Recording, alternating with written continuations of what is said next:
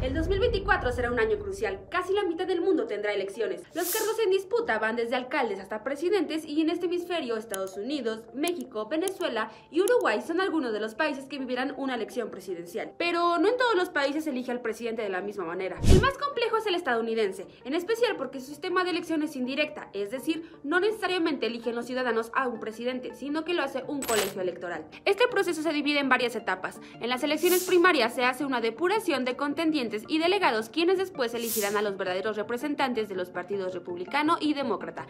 Después, en las convenciones nacionales, son los partidos quienes escogen a los candidatos tanto para la presidencia como para la vicepresidencia. Los votantes también eligen a los electores del colegio electoral. Cada estado tiene un número de electores dependiendo del tamaño de la población que habita ahí. El más grande es California y entre los pequeños están Alaska o Montana, por mencionar algunos. Y son ellos quienes definen al presidente. En la mayoría de las ocasiones el voto popular coincide con el de los electores de los colegios electorales aunque ha habido excepciones, tres en el siglo XIX y dos en el siglo XXI. Venezuela. El presidente de este país es electo en una sola jornada electoral a través de una votación directa y secreta. Para ser electo se requiere obtener la mayoría simple de los votos válidos. Su mandato tiene una duración de seis años. Uruguay. Con voto directo y secreto, la ciudadanía elige al presidente que tendrá cinco años de mandato. En caso de que ninguna candidatura obtenga una mayoría de votos, se realiza un balotaje, conocido como segunda vuelta. Es una segunda elección entre las candidaturas más votadas.